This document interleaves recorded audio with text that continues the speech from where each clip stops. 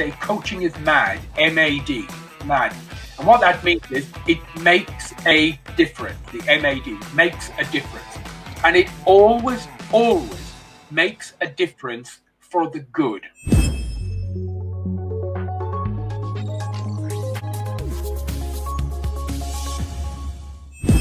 Hello everyone, here is Coaching Crew International. My name is Stanisława and I'm founder and CEO of Coaching Crew. Today I'm gonna introduce you one really special, my first special guest in our broadcast. How I decide to make my first step in coaching.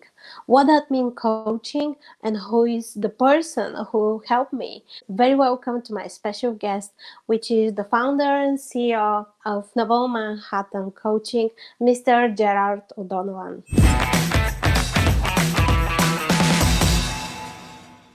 Hello, Gerard. Thank you so much to be my guest at Coaching Crew International. It's my pleasure. My first uh, question is what is for you the word coaching? Oh, that's an interesting one. Um, I guess what it means to me is different from the normal formal definition. So you have a number of definitions of coaching, and we've created, I've created one. But what it means is different. What it means is a feeling. It it's a deep feeling of the intense satisfaction I get and people get from helping another human being. That's what it really means. A huge, huge feeling of well being, satisfaction, a feeling of a job well done when you can help another human being to grow. So it's not an academic thing, it's it's a feeling thing, you know? How many years from now you're founder of Noble Manhattan? well, that's another good question because the answer is strange. I we I came across coaching in 1995, mm. and I took a year to train, and then I started coaching myself with clients at the end of nine middle to end of 1996. That was just me as an individual coaching and I coached every single day for nearly three years, um, two, three hours a day, sometimes every day, learning, understanding, uh, becoming practiced. And then in 1999, the very end of 99, beginning of 2000, over that Christmas period, we started to train coaches. So, as a company, we've now been training coaches for 20 years as an individual, I have been coaching people for about 23, 24 years. Wow. Yeah. That's a long time. That's a really long time, Gerard. oh my God. Okay, but you know, I listened your um, some of your interviews, and um, one of the interviews you say um, how you become um, uh, your first introduction about the coaching training. Um, I will give you a little tip if you if you can't remember. Uh, there is one lady in Olympic uh, area in London. Can you remember that? Oh, sorry. Yes, of course. Yeah. Right. Yeah, a lady called Laura Berman Fortgang, an American lady, a coach based in New York. Uh, I was running a uh, I had paid for a uh, an exhibition stand, a three day exhibition at a.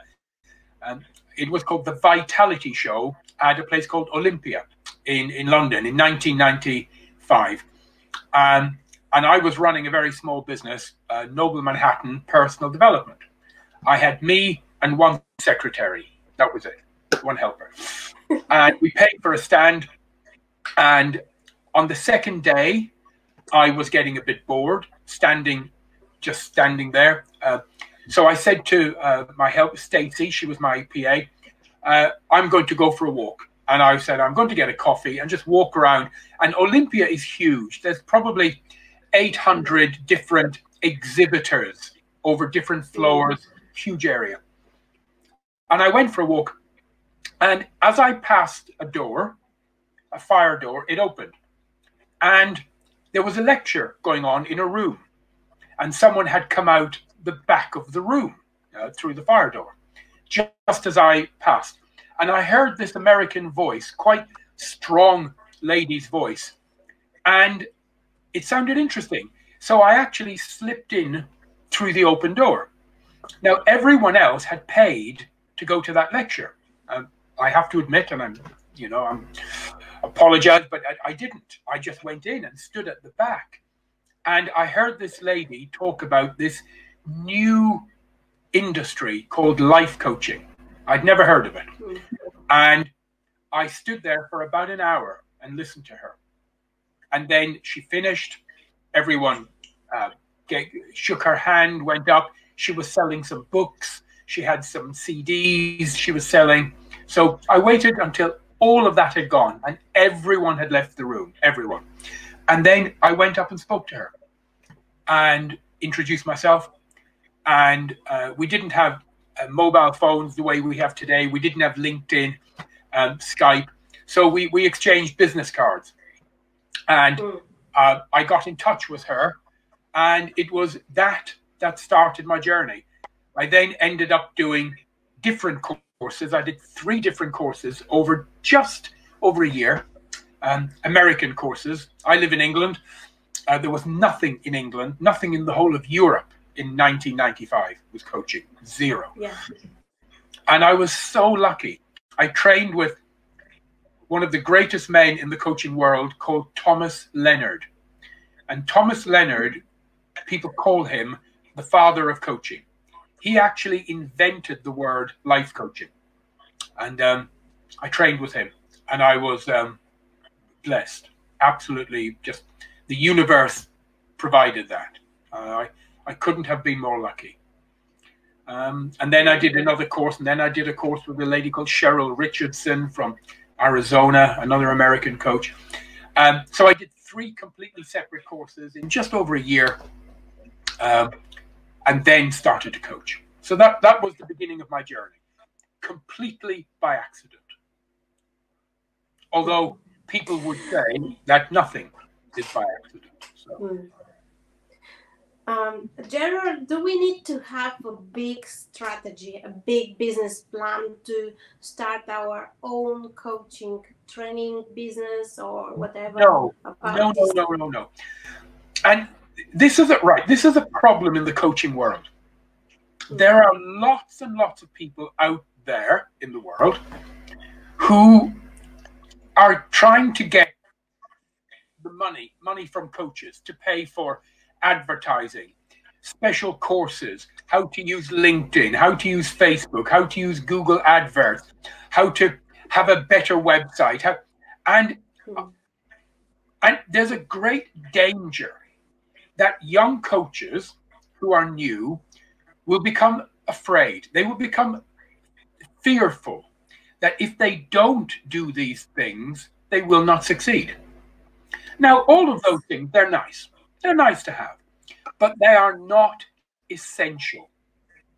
Um, and what I'm about to say now may sound very strange, very weird, but everything in life is vibration, everything is energy. We live in a, a quantum universe where quantum physics rules. And in quantum physics, vibration is everything. Einstein actually said nothing happens in this world until something moves. And movement is vibration. And the truth is that you and I, we live in a cosmic universe where we are magnets. You and I, we attract to ourselves people, places, opportunities, and things consistent with our dominant thought patterns. So what we have to always be aware of is that you will attract to yourself whatever you um, focus your attention on. And if you are in a place where you are holding a vibrational pattern of lack, anxiety, fear, that is what you will attract. But if you can position yourself in a vibratory position where you are filled with gratitude, positive belief, positive energy, you will actually attract to yourself the people, places, and opportunities to help you grow. And clients will come, you know. Now, there are certain strategies, of course, um, email strategies, building databases, having a nice website, having a nice Facebook profile, LinkedIn profile. These all help. But you have to be very careful about where you spend your money because everyone out yeah. there, everyone wants your money. Yeah, absolutely. I'm really, I'm really agree with you. So here is um, the moment I want to share with you what I'm doing. Mm-hmm. Uh, okay. The Coaching Creole is the platform for specialists and experts that was my big fear uh, when I start my when I finished my coaching uh, diploma uh, by Noble Manhattan. Um, that was like two, three years ago. I can't oh. remember. it was a long time. and then Gerard, I started to think about how I can deliver my service and then just start thinking maybe I have to go to social media. Okay, maybe some of my friends they can become my clients, but that was my big struggle. And uh, how is coming the idea about the broadcast? Uh, it's not just to have a conversation with some of our teachers or with some of our um, uh, colleagues, uh, like for example you, you're the founder of Noble Manhattan, but here is the moment to say the coaching Creole platform is not just um, to have a conversation. We make a really a good, big uh, opportunity to deliver your service. For example, some of your students, they can um, be part of this platform to, mm-hmm. to say, hey, I'm here. um, that was my big struggle. And then um, I organized um, and I start my journey with coaching Creole. Uh, how you say, I didn't have any any idea how um, that will be become a, a business or um, do I need to have a big business plan? No, I didn't. Yeah. That's great. Uh, my next.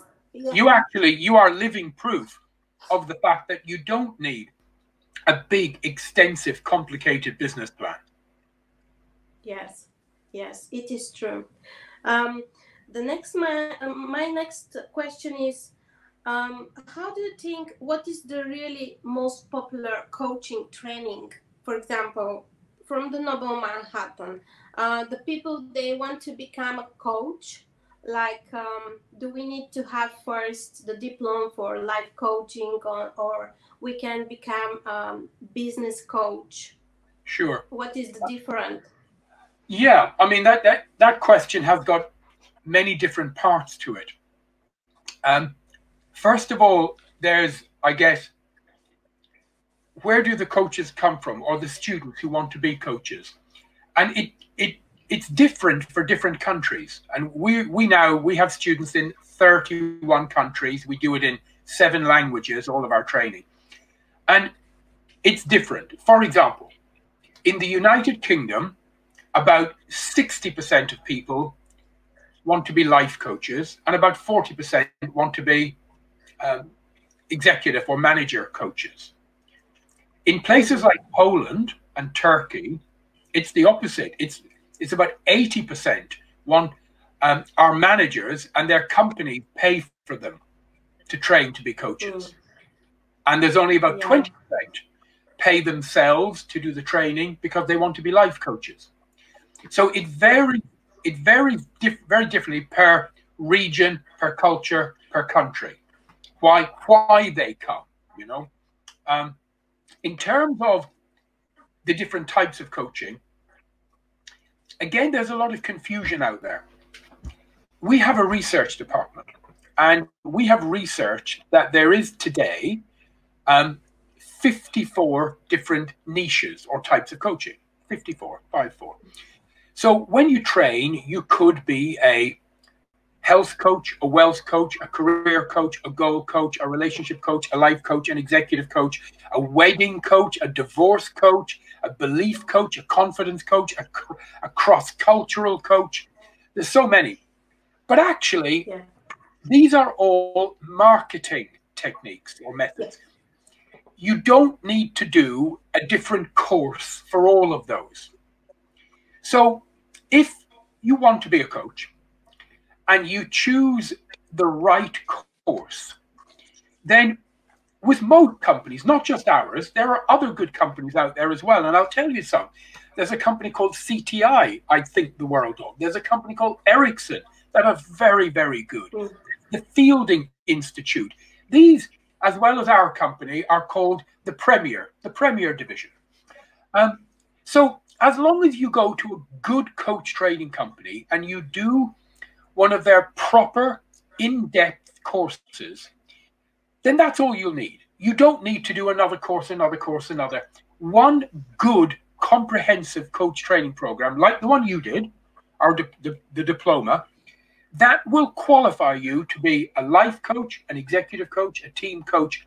So you will have all of the knowledge, the skills, and the ability to then go out and coach almost anyone on anything. Yeah. So you don't have to worry about having to do another course and another again and again and spending more money and, and so on. Yeah, that's that's good.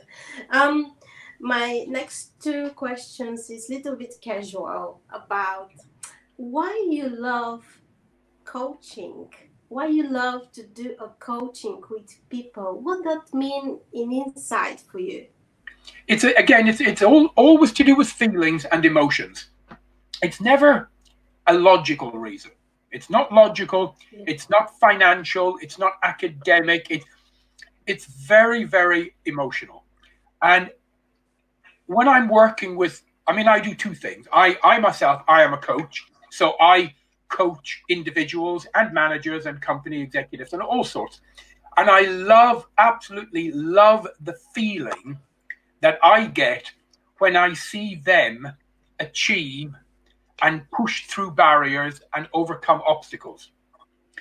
Then the other thing I do, of course, I run a coach training school. So we train men and women to be professional, accredited, qualified coaches. And again, it's down to the feeling, the emotion. It's a it's a different feeling. But when someone comes and they want to do coaching, but they don't know much about it, they just have a desire and it takes a year 350 hours you know takes over a year for men and women to do the program. And you see them change. You see huge changes in them physically emotionally. You see changes in their character. You see changes in their confidence. You see changes in their self-belief in their self-esteem. All of those rise they all uh, change positively. Um, and that's just an incredible feeling to think that you have been part of that change in them. Um, and I often say that when I sometimes write on a flip chart, I say coaching is mad, M A D, mad. And what that means is it makes a difference. The MAD makes a difference. And it always, always makes a difference for the good, always for the positive, never for the bad. So that's why I do it. I, I just love it. And it gives me energy as yeah. well. You know, I, I, I, it always gives me a huge amount of energy um, when I'm either coaching or helping to train people to be coaches. Yes. Um, Gerard, what you would like to uh, wish for our followers at Coaching Crew International. Um, I know the time now is a little bit interesting in our life, but I know the coaching, the people who can deliver that kind of service can help many, many, many ways. Sure. And although we are living in, in a different, different and a difficult and strange time all around the world, this will, there will always be difficult times. Okay. The reason is just different. There are economically different times, politically dif difficult times in many different countries on a regular basis. What I wish for the viewers is that they can find a way to help other people. You see, I learned something from one of my early mentors many, many, many years ago, uh, an American called Zig Ziglar. And he said something that struck in my mind. He said, You can get anything you want in life by helping other people to get what they want first. And the most important word there is the last word, first. I've often heard people use that phrase and they forget the last word. So you can get anything you want in life by helping enough other people to get what they want first. So it's the law of the universe. What you give out, you will receive. What you plant, you will sow. If you help other people, you will receive help yourself and you will grow in any way that you want. Men- mentally, with friendships, with love, with money, with material things, whatever you want in life. But you have to help other people. And the key word is first. First. Yeah. Thank you so much um, to be part of Coaching Crew. And that is big, big, my pleasure. Oh, it's been my pleasure. And it's lovely to see you again after all this time. It's lovely to catch up. Yeah, thank you. Thank you so much, Gerard. And see you soon again. Take care. Take care. Bye now.